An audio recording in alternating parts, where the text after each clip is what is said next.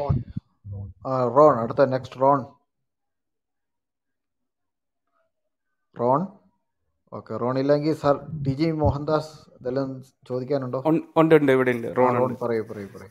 ഒരു അനിൽ പാസ്റ്ററോടാണ് ഒരു ക്വസ്റ്റ്യൻ ഉള്ളത്.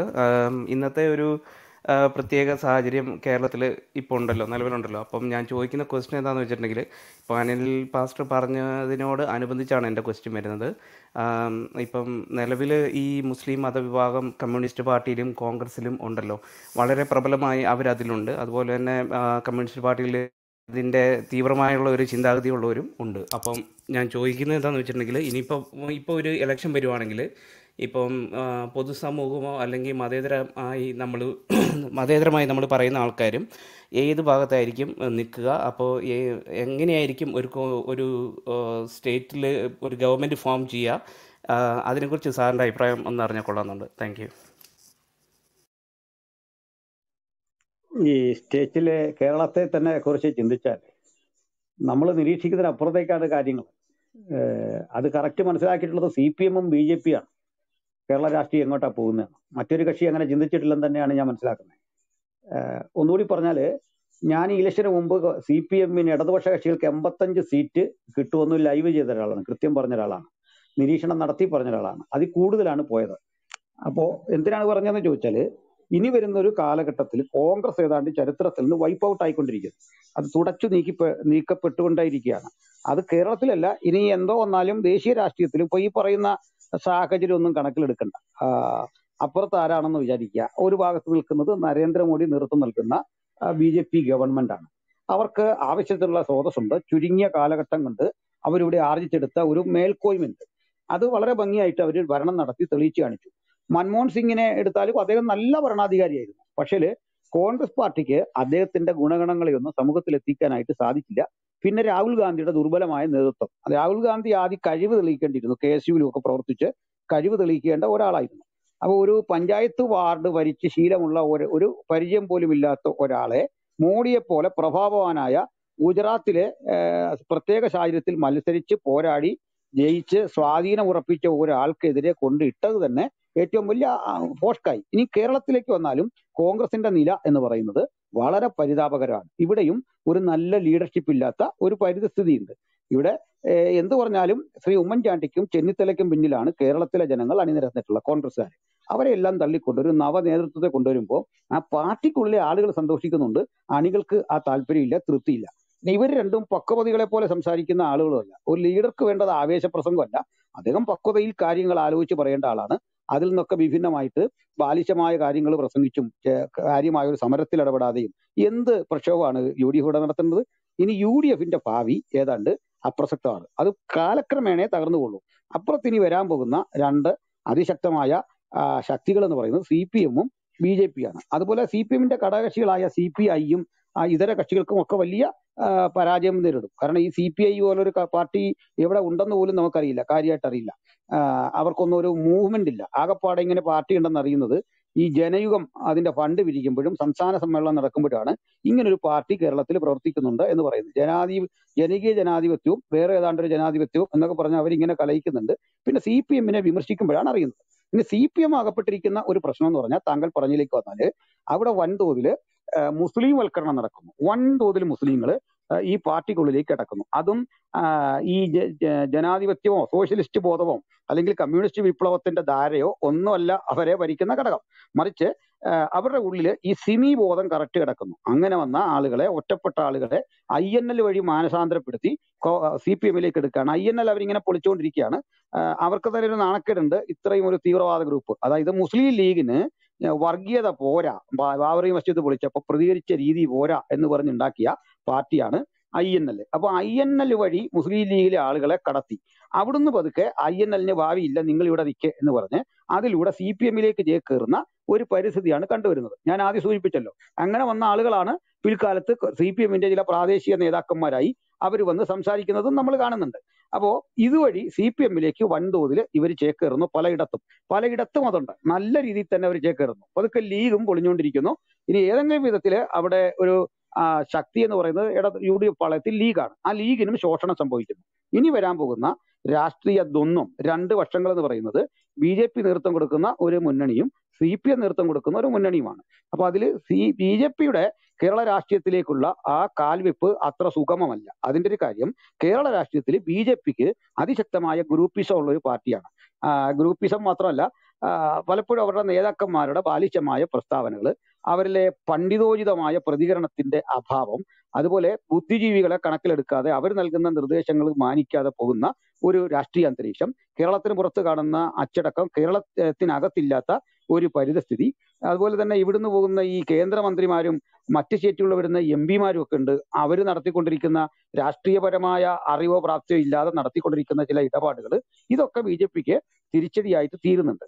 എന്നാലും ബി ജെ പി തന്നെയാകും ഇനി സി പി എമ്മിന് ബദലായിട്ട് നിൽക്കാൻ പോകുന്ന ഒരു രാഷ്ട്രീയ ശക്തി എന്നാണ് എന്റെ ഒരു നിരീക്ഷണം. അതിലേക്ക് മറ്റുള്ള ആളുകൾ ഈ രണ്ട് കക്ഷികളിലായിട്ട് വിന്യസിക്കപ്പെടാനാണ് ഇനി ആ മുന്നണിയാണ് കേട്ടോ ആ കക്ഷികൾ നേതൃത്വം നൽകുന്ന മുന്നണികൾക്കുള്ളിലേക്ക് ഈ രണ്ട് കക്ഷികൾ വിന്യസിക്കപ്പെടാനാണ് ഇനിയുള്ള കേരള രാഷ്ട്രീയത്തിന്റെ പോക്കെന്നാണ് എന്റെ ഒരു നിരീക്ഷണം.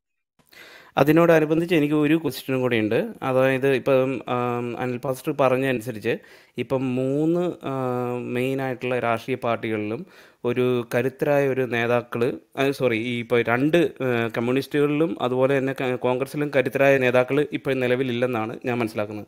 പിന്നെ ഇപ്പം കമ്മ്യൂണിസ്റ്റ് പാർട്ടീനെ എടുക്കുകയാണെങ്കിൽ ഇപ്പോൾ പിണറായി വിജയൻ ഒന്ന് അവിടെ അവർക്ക് എടുത്ത് പറയാൻ ഒരു വ്യക്തിയുണ്ട്.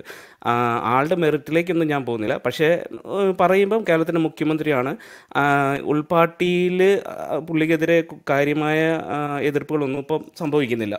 പക്ഷേ പുള്ളി ഇല്ലാത്തൊരു സമയത്ത് താങ്കൾ പറഞ്ഞു വെച്ച് നോക്കുമ്പം എനിക്ക് തോന്നുന്നത് കേരളം ഒരു ഉത്തരേന്ത്യൻ സ്റ്റൈൽ ജാതി രാഷ്ട്രീയത്തിലേക്ക് പോകാനുള്ള ചാൻസ് ഉണ്ടോ? കാരണം ഒരു സ്ട്രോങ് ആയുള്ള നേതൃത്വം കോൺഗ്രസ്സിലോ കമ്മ്യൂണിസ്റ്റ് പാർട്ടിയിലോ അല്ലെങ്കിൽ ബി ജെ പിയിലോ ഇല്ല. പിന്നെ വരുമ്പം ബി ജെ പിന്റെ ഒരു രാഷ്ട്രീയം എന്ന് പറയുമ്പോൾ അവർക്ക് ഒരു മതേതരമായ ഒരു ബദലിനെ സൃഷ്ടിക്കാൻ ഇവിടെ കഴിയുമെന്ന് എനിക്ക് തോന്നുന്നില്ല.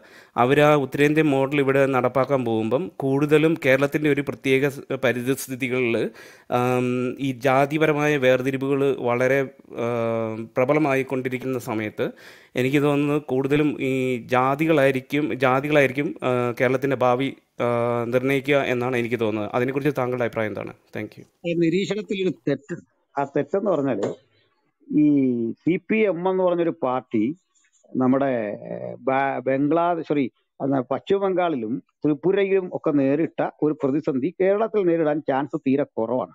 കാരണം ഒരു മധ്യവർഗമാണ് ഇവിടെ ഉള്ളത് കലാപം ഉണ്ടാക്കേണ്ട കക്ഷികൾ ഇവിടെ ഇല്ല. മധ്യവർഗം കൂടുതലുള്ള പാർട്ടിയാണ് എന്നാൽ അവിടെയുള്ള സ്ഥിതി എന്ന് പറഞ്ഞാൽ തനി തൊഴിലാളികൾ അന്ന് ഇവിടെ ഇവിടെ വന്ന് പൈപ്പ് ലൈൻ കുഴിക്കുന്ന ആളുകളാണ് അവിടുത്തെ സഖാക്കൾ ഇപ്പോഴേ. അപ്പൊ അവിടെ അരക്ഷിതാവസ്ഥ രൂക്ഷമായിരുന്നു. ഭാവനാസമ്പന്നമായ കാഴ്ചപ്പാടുകളൊക്കെ ഇല്ലാത്ത ഒരു പോക്കായിരുന്നു അവിടെ. മാത്രമല്ല അതിന്റെ നേതൃത്വവും ജനങ്ങളും തമ്മിൽ ഭയങ്കര അകലമാണ് ഒന്നാമത് ഒരു ബ്രാഹ്മണിക്കലായ ഒരു പാർട്ടിയാണ് സി പി എം എന്നുള്ളത്. ഒരുപക്ഷെ ബി ജെ പിയേക്കാൾ അധികം ബ്രാഹ്മണിക്കലായ ഒരു സിസ്റ്റം ഫോളോ ചെയ്യുന്ന പാർട്ടിയാണത്. അതുകൊണ്ടാണ് അംബേദ്കർ ബ്രാഹ്മൺ ഗെയ്സ് എന്നാണ് ഇവരെ വിളിച്ചത്. അങ്ങനെ അഭിസംബോധന ചെയ്തിട്ടുണ്ട് അദ്ദേഹം. ഒരിക്കലും പിന്നെ അദ്ദേഹം അങ്ങനെ ഇവരോട് പൊരുത്തപ്പെട്ടു പോയിട്ടില്ല അപ്പോ ഇനി ലീഡർഷിപ്പ് കേരളത്തിൽ സി പി എം പ്രവർത്തിക്കുന്നത് വളരെ സിസ്റ്റമാറ്റിക് ആയിട്ട് തന്നെയാണ്. ഇന്നിപ്പോ പിണറായി വിജയൻ നാളെ മുഖ്യമന്ത്രി അല്ലാതായി പോയാലും അവരെ അത് ബാധിക്കാനില്ല. അങ്ങനെ കാണുന്നത് തികച്ചും അപകടകരമാണ്.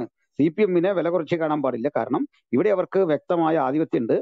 മനോരമയും മാതൃഭൂമിയും കഴിഞ്ഞാൽ മൂന്നാമത്തെ പത്രം അവരുടേതാണ്. ചാനൽ അവരുടേതാണ്. കോടിക്കണക്കിന് രൂപയുടെ ആസ്തി കേരളത്തിൽ അവർക്കുണ്ട്. ഇഷ്ടം പോലെ സ്ഥാപനങ്ങൾ അവർക്ക് സ്വന്തമുണ്ട്. സഹകരണ സ്ഥാപനങ്ങൾ അവർക്ക് സ്വന്തമുണ്ട്. അതിലൊക്കെ തൊഴിലാളികൾ അവർക്കുണ്ട്. എല്ലായിടത്തും അവർക്ക് സ്വാധീന മേഖലയുണ്ട്. അവരുടെ യൂണിയൻ വളരെ ശക്തമാണ്.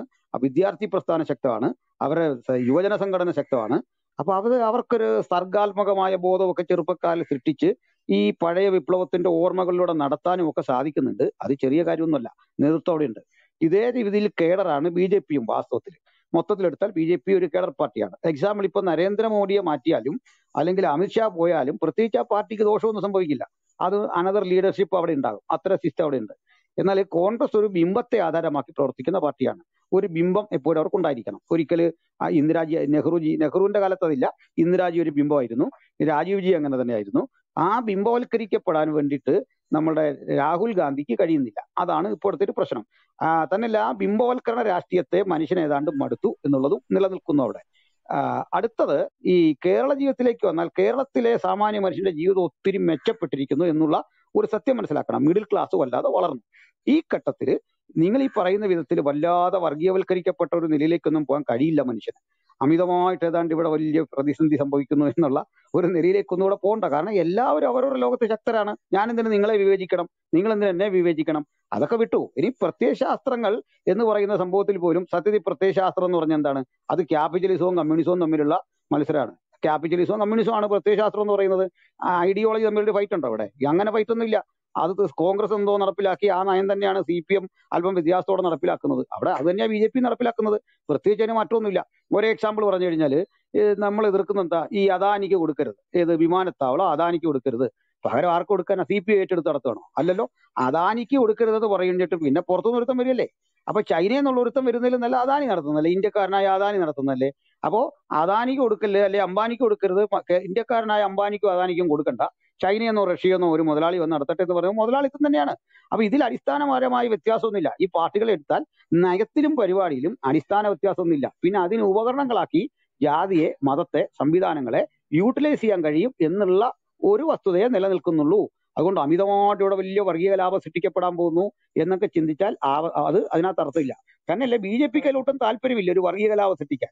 കാരണം അവർ വർഗീയ ലാഭം സൃഷ്ടിച്ച് ഹിന്ദുക്കളെ ഏകീകരിക്കാൻ നോക്കിയാൽ അപ്പുറത്ത് നിൽക്കുന്ന ശക്തി ഏതാണ്? സി പി എം ആണ്. അതിനെക്കുറിച്ച് ബി ജെ പിക്ക് നല്ല ബോധ്യമുണ്ട്. അവരെ ശക്തിയെക്കുറിച്ച് നല്ല ബോധ്യം ബി ജെ പിക്കുണ്ട്. ബി ജെ പിക്ക് തിരിച്ചുകൊണ്ട് ഇവർക്ക് അങ്ങോട്ടും ഇങ്ങോട്ടും ഉണ്ട് അങ്ങ് പറയുന്ന പോലെ ഒരു വർഗീയമായി മനുഷ്യൻ ചേരി തിരിഞ്ഞ് അങ്ങനെ പോകത്തക്ക ഒരു അന്തരീക്ഷം നിലവിലില്ല. അങ്ങനെ ആര് ചെയ്താലും അവർക്ക് ലാഭം ഉണ്ടാകില്ല കാരണം അത് ഇക്വേഷനാണ് കാരണം. പോപ്പുലേഷനിലെ ഇക്വേഷനാണ്. അല്ലാതെ ആഗ്രഹമില്ലാഞ്ഞിട്ടൊന്നുമല്ല. കാരണം ഹിന്ദുക്കൾ പ്രബല കമ്മ്യൂണിറ്റിയാണ്. ക്രിസ്ത്യാനിക്കും അവരും പ്രബല കമ്മ്യൂണിറ്റിയാണ്. മുസ്ലിങ്ങൾ രണ്ടാം സ്ഥാനത്തുണ്ട്. ഇത്തരം ഒരു ഇക്വേഷനിൽ ഏതെങ്കിലും ഒരുത്തൻ ജാതി തന്നെ പറഞ്ഞുകൊണ്ട് വന്നാൽ വർഗം തന്നെ പറഞ്ഞുകൊണ്ട് വന്നാൽ അതിവിടെ വോട്ട് ആയിട്ട് മാറൂല എന്ന പ്രതിസന്ധി നിൽക്കുന്നു. അതാണ് വസ്തു